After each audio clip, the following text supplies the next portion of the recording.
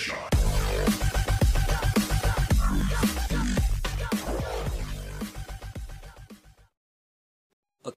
kali ini kita akan melanjutkan strategi tes listening bagian part E, strategi ketujuh.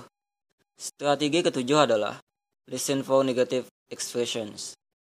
Jadi, ekspresi negatif sering kali ada dalam dialog pendek. Dan jenis respon yang paling benar pada sebuah kalimat negatif umumnya adalah sebuah kalimat positif yang berisi sebuah kata dengan makna yang berlawanan. Nah, sekarang mari kita lihat contoh. Si pria berkata, How did they get to their grandmother's house in Maine in only five hours?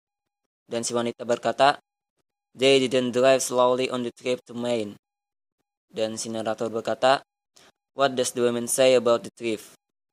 Nah, di dalam buku tes kalian atau screen komputer kalian, kalian akan membaca A.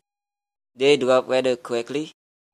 B. They couldn't have driven more slowly. C. They wanted to travel slowly to Maine. D. They didn't drive to Maine. Nah, sekarang mari kita lihat kalimat orang kedua. They didn't drive slowly on the trip to Maine. Maksudnya adalah bahwa mereka mengendarai dengan cepat. Coba perhatikan jawaban yang menggunakan quickly. Kata berlawanannya adalah slowly. Jadi jawabannya adalah A. They drove rather quickly. Sedangkan jawaban yang ada kata slowly itu adalah jawaban yang salah. Di sini saya akan memberikan beberapa tipe-tipe ekspresi negatif. Pertama, regular negatif yaitu not atau n apostrophe and and. Contohnya, Tom is not sad about the result. Jadi untuk tahu jawabannya adalah not sad, tidak sedih, yang mana maksudnya adalah bahagia. Di sini e, katanya adalah happy.